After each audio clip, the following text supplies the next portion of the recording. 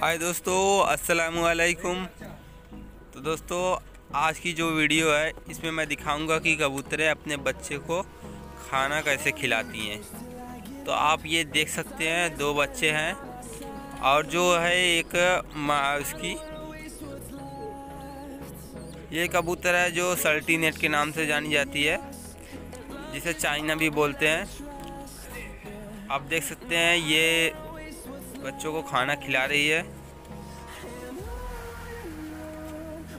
तो इस कबूतर की एक खासियत है कि सर पे इनकी जो चोटियाँ होती हैं, वो एक सर पे होती है, दूसरी चोटियाँ जो होती है, वो घेगे पे होती है। तो दोस्तों, इनकी दो चोटियाँ होती हैं, एक घेगे पे होती है और दूसरी सर पे होती है।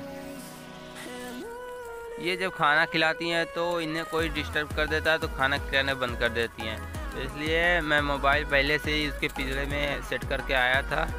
तो ये खाना खिला रही थी। अगर मैं वहाँ पे रहता तो खाना नहीं खिलाती ये। तो दोस्तों, वीडियो अच्छी लगी हो तो वीडियो को लाइक करें और शेयर करें। और दोस्तों, अभी तक जो लोग हमारे चैनल को सब्सक्राइब ना किए हों, वो चैनल को सब्सक्राइब कर लें अब बेल आइकन प्रेस कर लें, ताकि हमारे न्यू वीडियो आप सभी तक सबसे पहले पहुँच।